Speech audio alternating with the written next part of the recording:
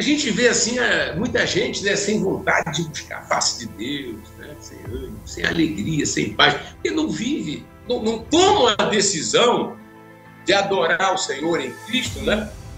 perceber como nós somos pecadores, como somos perdoados. E ele diz assim: agora eu quero perdoar você, mas você tem que perdoar também. Se eu não usufruo, né, se eu não sou perdoado, irmão, vai estar na igreja inchado, está na igreja e não desenvolve, porque nome que está tá vivo, mas está é morto. E lembra que para essa tarefa, o Espírito Santo, eu recorro.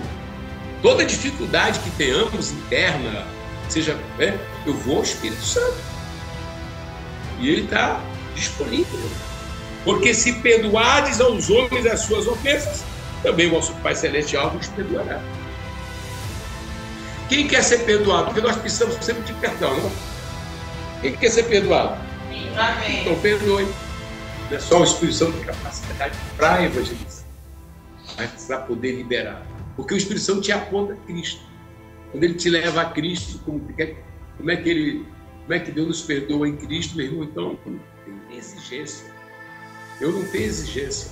Pare com esse negócio de exigir. É aquela história, e perdoar não é querer exigir, a fulano tinha que vir aqui. Tinha que pedir perdão.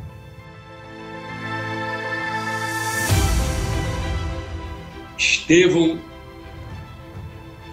ele não condicionou a que aquelas pessoas viessem a ele. Para com isso. Para com essa teologia barata, esse subjetivismo. Eu não quero nem saber.